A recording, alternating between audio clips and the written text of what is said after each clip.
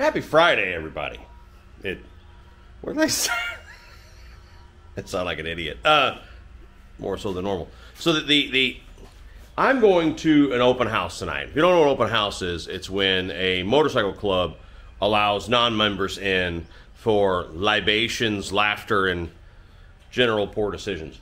And uh, this clubhouse is, is, is the clubhouse of a, a, club down here in South Florida that I think really, really highly of. They're, they're just great guys, and I think they sort of are the gold standard of how a motorcycle club should operate because they just they get along, and when they don't, they solve it, and they laugh. They're, they're just good dudes. Anyway, and a lot of them are going to Sturgis. That'll be fun too. Anyway, um, they have an open house tonight, and me and two of my brothers are going to hang out with them maybe talk a little Sturgis so we can start their plans and stuff. But in the meantime, I'm riding the Black Knight. And the Black Knight is my douchebagger, my 16 Road Glide that's all over the top done up with the air ride and the and the liners and the saddlebags that look like a whorehouse and all that kind of stuff. Um, but I have some stuff that's been been here a while that I ordered before I even went to, on that trip to Europe for work. Um, so we're gonna do some stuff like what I call the fang lights by the windshield. We're to upgrade the LED turn signal lights. Um, and I have a horn because this one rattles. But I don't know if I have time to do that today. And we got to clean that stickum off and just give it a bit of a bath, you know? Not that I'm a stickler for cleanliness, but it looks like I've been licking the rear of this bike, you know, because I've been climbing all over it the last couple days fixing that brake switch thing that I was dealing with. So let's get on that.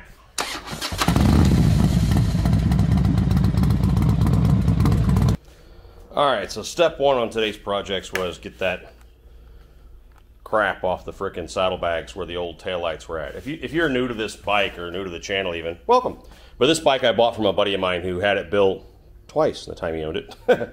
Second time from a shop down in Miami, and they put these like lights that just went right under the lids. Not these. These are the uh, you know custom dynamics bags lights. They're, these are nice and slim. These were big like hockey puck looking things, and they were I don't like them. they were big dots of LED, you know what I mean? And then when you hit the brakes, the ones in the middle, like they just weren't very cool in my opinion. So we put the plasma rods on, those little strips you're seeing there. Well, that left adhesive, so I used Goo Gone to dissolve that stuff. How to, what a not interesting thing to talk about. But anyway, that's what I did. Uh, the back end's still real cloudy and stuff because it's covered in Goo Gone, which is basically just citrus oil. It's basically just oil from orange peels that dissolves stickum, but it's not the best stuff. My favorite was the, uh, Turtle Wax used to make an adhesive or an adhesive dissolver, and I can't find it anymore. So maybe it causes you to grow a third arm now, and that's why you can't buy it anymore. Who knows? But look at that. There's some imperfections in the paint under there. Anyway, well, whatever. This whole body's coming off. Um, and I'm doing a color swap in a couple months when I get back from Sturgis. Anywho, and I'll sell this rear end on eBay to sort of offset some of the cost. But next step is to fix the front end lighting. So this bike has a stock headlight with that Harley stick-on cover thing. Uh, let me show you that thing. You know, it's it's adhesive, goes on over the headlight, and sort of adds a painted bit of body work over the headlight. You could get it in either black or chrome. I think they still sell it, uh, and I do think it adds something to the bike, so that's that's not bad. But I'm going to upgrade the headlight uh, because a I don't leave anything stock, and b this headlight has some issues. I've seen it before. Where one, I think it's the left light goes out it seems to be staying on these days, but when I bought the bike, it was a known issue that it had a bum headlight, which is fine because I have from other projects road light headlights laying around, so I could switch it out for a stalker if I needed to. But so far, it's working. So I think I'm going to do the Advan Attack headlight, the one that's sort of that Cylon Knight Rider looking thing. Um, either that or the Custom Dynamics Road headlight, like I have on the wife's bike. I, it depends on availability because these are actually really hard to get right now. They make it in black or chrome, and they just don't have many of those to, to, to just sort of toss me one, you know? So, um, and also this bike's all blacked out and stuff, so that sort of attack headlight might look really cool on this bike. Anyway, the other thing is those are the old, they're custom dynamics, these turn signal lights, I'm pretty sure. But they're the old ones. And I think on the left side, there's even a couple LEDs that are out because these are probably six years old. They've been through Florida uh, hurricanes and everything else. So this is the old style, and we're going to switch those out for the modern Pro Beams. I can't remember what they called those. I think they just called those dynamic turn signals six, seven, eight years ago. So we'll pop those out, swap them for new ones. And I got, see the lenses are a little cloudy and effed up, so we're going to change those for the ones that have the black trim rings too. So And we got the Fang lights. Why is the stereo playing? Hang on. So at least it was Led Zeppelin. Um, we're going to put the lights on that go up here. I have them in black. They're white lights until the turn signals come on. Just add a little more light to the front end. Um, and then we're pretty much done with the lighting. And then I think I will go ahead and tackle today swapping out that horn. Uh, it's an air horn, but I don't know who makes it. And it's not as good as Custom Dynamics Pro Beast. it's not as loud, number one. Number two, it rattles. Uh, there's something in that horn that when I first bought this bike, it had a bad compensator. We swapped that out, which you know causes a rattle noise in the primary. But I'm riding it afterward, going the frickin' rattle's kind of still there, and it was the goddamn air horn. so I was thinking there was something wrong with the motor, and it's the air horn jiggling around in there. Um, interestingly enough, this one isn't even powered. So the Pro Beast has a positive and negative, like any motorcycle, you know, uh, horn. But the Pro Beast has a separate positive line that runs straight to the battery on the bike to you know give it a little more juice and a little more loudness. That one doesn't even have that, so can't be as good. So let's go ahead and knock those out, put those on, and we'll swap the horn probably. If you've never done these Pro Beam lights, um, this is without a doubt the easiest thing you do to your bike. So if you have a stock Road King, Road Glide, you know anything that has this size bullet turn signal, they're pretty much all the same. I can't think of a single one that isn't. As long as they're that size of diameter. So like Road King, Road Glide, Street Glide, Ultra Classic, Electric Glide. She's nude behind that door. Yeah. That'll teach her. Um, this just pops off. The lens just pulls off. I can probably even get it with my finger without even a screwdriver. If not, then you put a standard screwdriver and turn it and it'll pop the lens off. But I should, there you go. So there goes that. These are kind of cloudy and old. So we're going to set that aside, i.e. throw them in the trash can. And then these are just sitting in here. So they were just kind of sitting in there. And then you just take your flat blade or your finger, probably even without a screwdriver, you push and you turn. Oh no, flat blade, there's actually like a tooth for you to grab a hold of there. Push and turn, there, there goes the turn signal. Um, your stockers are gonna have an amber lens and then a bulb. You just push the bulb, turn, it comes out. And now you're ready to put in your Pro Beam, there ain't nothing to it. The ones I'm putting in are slightly different. There's there's ways you can do this where you put uh, you know the, the LED board on a wire that sticks in there and you turn and then the lens snaps on over and you can put put the amber back on if you want or you can put clear or smoked or you know whatever. But these, the ones I'm putting on, are sort of an upgraded version of the Pro Beam. They have this trim ring integrated into them. You can pop this out. You see those teeth there are bent down to hold it in. Got a nice rubber gasket, keep water out. I'm going to plug it in and snap that on and it's done. But you see it'll sort of make the light a little bigger, you know. So uh, I can't do this with one hand. So I'm going to stick this in, pop that on, and we're done. But these lights are a lot brighter than the ones I just came out. Uh, we'll show you in a second. All right, so stuck it in, use my standard blade. There's a slot in there to uh, standard blade. Freaking screwdriver. Uh, and then you just kind of curly cue up the wire and pop it on. Done. Now we'll see if I stuck that in right. it is possible that you could put, I'm dropping shit over here. That's fantastic. It is possible you can put that post in not quite the right way. And there you go. So you can see right now, there's the old ones. I don't know if you can see on the camera. And the new ones. And then the central cluster there is a lot brighter yellow when you put the turn signals on. So there's the new ones, and there's the old ones. And I don't know if you can tell from the camera how much brighter it is, but it is. And then the turn signal is a lot brighter. So, all right. We do the other side, and then we'll uh, start on those fang lights on the windshield. This could be pretty sweet, the fang lights. So I, I did the turn signals. That's nothing to it. The fang lights, um, I was sitting there wondering if I was going to need to take the whole fairing front cap off or not, and I'm not going to have to. Let me show you what I mean. This is going to be 15 minutes. So your turn signals on a road glide, they plug in up here. This is actually your turn signal plug, okay? So what happens is this turn signal is attached to the outer cap. I've done other videos on this, but if you take the outer cap off, uh, it's a screw behind your your screen, your uh, grill for your speaker. It's the four screws, two on either side, that are on your your little air dams there, uh, and then the four that hold the windshield on and then the one Allen bolt right there that's on the turn signals. I think I think you can see.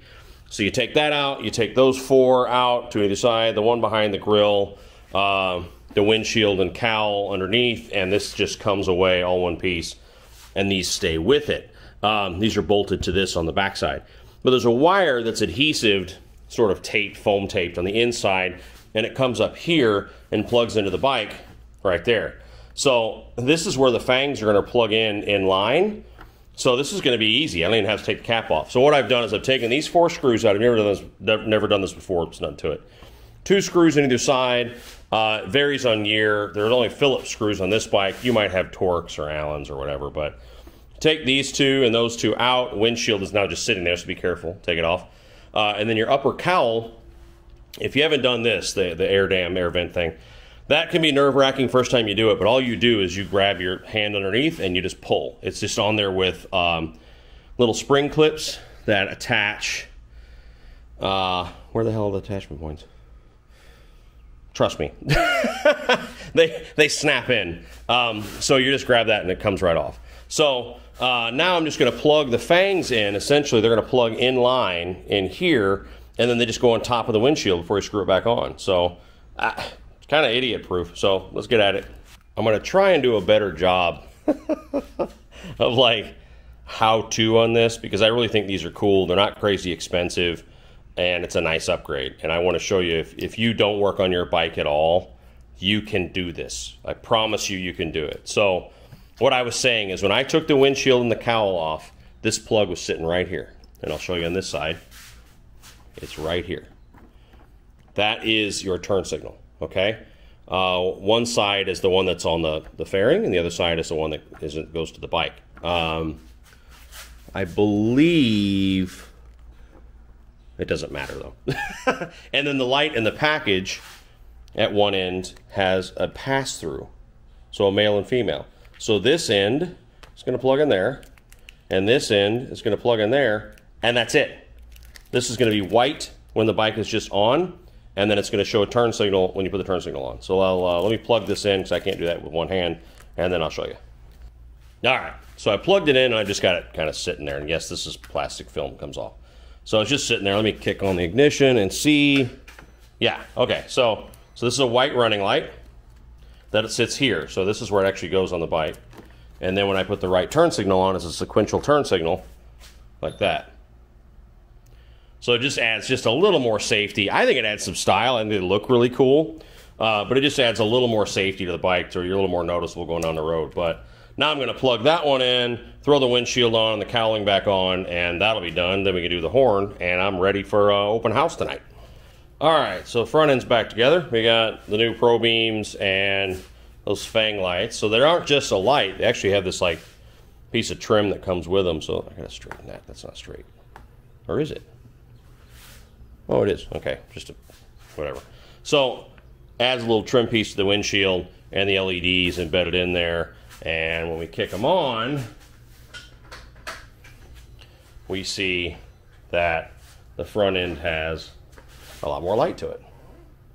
So I like those things a lot. I put them on the wife's bike. You can get them in chrome or black, as you can see. Um, so they're on the wife's bike, and then also now they're on the Black Knight. and then we see turn signals, which I have to resync these still. Actually, I'll show you how you do that real quick. I've done this a million times, but so ignition off. Wait for them to flash. They do flash the alarm too. All right. So I'm to do ignition on, hazards, ignition off, and then let them run for a couple minutes. And what's going to happen now is they're all going to resync. They might stop. See, now it's stopping, and they're off time, and they're going to see they're establishing a rhythm. So they say you let it go for two minutes, but I don't think it takes two minutes. Like it's done now, you know. So then what you do to save that setting is you turn the ignition back on you turn the hazards off and turn the ignition off, and it saves whatever it found when it was doing that. So now all the lights are in sync, including those new uh, plasma rods in the back. So, all right, next step is to pull off that janky air horn and put on the Pro Beast. All right, so horn time. the horn that's on there, like I said, it, it rattles and it's not as loud and stuff. So we're doing a Pro Beast. So I've done a couple of these. I've got one on uh, the Cholo bike, the red one no one's seen for a while. Uh, the wife CVO's got one, and then now we're put one on the Black Knight, and I've got another one in a box to go on the Fireball bike. But seeing as how the motor's getting swapped later this month and all that stuff, later this month, or is it? We're over Saturday, July 2nd on that 131 swap, but we'll figure all that stuff out. It'll be a live stream, so you'll see me for eight and a half hours, something I'm sure you all just frickin' dream of. So, um, first step is to take the single bolt nut off that holds the horn on and then just unplug from the back of the horn. So it's a positive and negative little clips, plugs, whatever you want to call it, uh, that look like, sorry, I got out of order. So you got this nut here, which is hilarious that somebody spray painted black to try and like extra black it out. But we're going to take this off. This is going to come free. And then down here on the back side, down there, there's two plugs on the back side. And then you just unplug those. This comes free. Looks like somebody spray painted this black too. How wonderful is that? And the Pro Beast uh, hangs from there and has the same, it has the same, you know, positive negative terminals, but then an extra 12 volt, like I said before, that'll run up under the tank and plug into the battery to give it enough juice to be nice and loud. So We'll swap that out, then we'll run that wire. That's all there is to it. Just to show you what I was talking about. Uh, after I got the compensator fixed, besides the fact this is just kind of cheesy looking, I think somebody spray painted it black or something. It just says Italy something. I don't know who makes it. But anyway, uh, listen to this. so under load, like when you're like, again, you're doing 30 mile an hour in fourth gear and you roll it on, so the bike's digging deep. So the bike's got a rubber mounted motor, the motor's shaking a lot, and this thing's on there that is magnified and it sounds like you've got something in the low end. I mean, it actually goes tink, tink, tink, you know.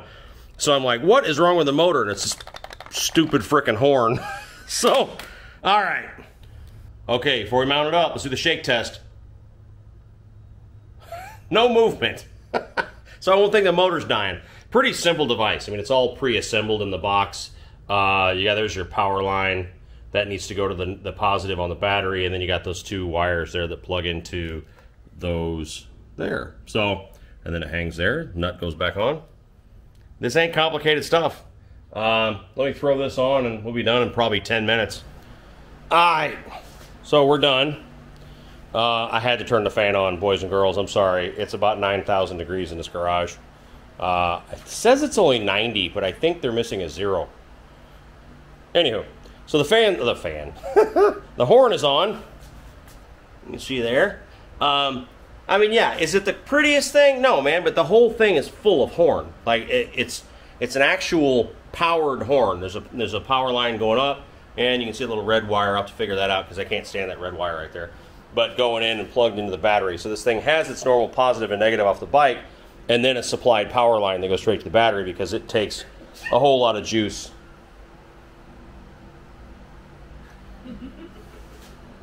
Can you tell the missus is behind me but doesn't want to be on the camera, but she just she just sneezed like a two-year-old? Normally you sneeze like a dude. You're like, ah! At That time, anyway. So, horn is done, lights are done, and I gave it a bit of a horse bath. Sat there with this cleaner that I really like. What's that stuff called? Um, I bought it at uh, Cycle Gear. I don't know if you can get it anywhere else, but it's called Moto Pro. People ask what I use to clean. This stuff's really good. I think it's what I pay, 10 bucks a can or something for it. I don't know, but bought it at Cycle Gear, not far from my house. But that that stuff's really good. Um, back to what matters. So parts are on, lights are on. Let's do the ignition. I gotta clean the headlight. Uh, turn signals, all that. Now I I know for a fact this this microphone cannot handle this horn, but we'll see what you can hear. what are they? At, at, the booth at Custom Dynamics, they always have to yell horn because that's how loud it is and it scares people. So, horn! in person, it actually distorts your ears. Like it's that, it's that loud. So, in Miami traffic, the missus has this on her CVO, and I swear to God, she like wants people to cut her off because she loves that horn so much. Um, anywho, so she's done. Oh, let me show you the plasma rods. I can't remember if I showed that with a so this is the run light. I had showed it before where they were like stuck on brake, but it's been fixed since then. So that's what plasma rods look like. Really a nice bike. I love this thing. I was thinking of something I was thinking of something the other day why I like this bike so much, and was just telling the missus. So this is a 2016 Road Glide. Um, started as a Road Glide special, and now it's full on Miami'd. But it's the last year of the twin cam in the Harley touring bikes. And but the frame I believe is the same. I, I, don't know if the frame changed. If it did in 17, it was just to accommodate the engine mounts for the Milwaukee 8. But it's the last twin cam touring bike, and I could actually do a whole video on what it's like to ride this bike because the only compared to my 21 Ultra or the wife's 19 CVO Road Glide, because the only difference between this motorcycle is twin cam motor to Milwaukee 8 motor, and all the hype about the Milwaukee 8, it's justified. It is. This bike shakes. Now, now, asterisk here. This is a stage five, so it's got a 110 inch kit from Harley with cams and bigger injectors and head work and all that stuff. So it's a stage five tire shredder twin cam. So maybe it shakes more, you know what I mean? But that also means it has a lot more power than it did when it was a 103. And it still doesn't feel like it's any faster than my 114. My stock 114 and my 21 Ultra I think it would whip this bike, even though it's a stage five tire shredder. I could be wrong, but my butt dyno says they're about twins. But I still love this bike because it's the last of the old twin cam touring bikes, and you can feel all those differences. This bike shakes a lot more, it vibrates a lot more. Uh, it's it's it's generally just doesn't handle for whatever reason. I can't describe it as well as the wife's bike does, uh, and that's even with a really expensive dirty air suspension on it. So I don't know, but I still love this thing. I had bought it from a buddy of mine because it was too good of a deal to pass up with the plan of just tweaking it, doing some stuff, doing a body change to it, having some fun with it, and then selling it on and just getting my money back. But I don't see that happening. I like it too much. So I'm just going to have to live with no space to walk through my garage anymore. But that's it. Um, I'm ready for the open house tonight at the Brothers uh, Clubhouse. We're going to have a good old time. Hope you all have a great week and have a fantastic Father's Day. We'll talk soon. Love you all to death. Take care of each other out there. Bye.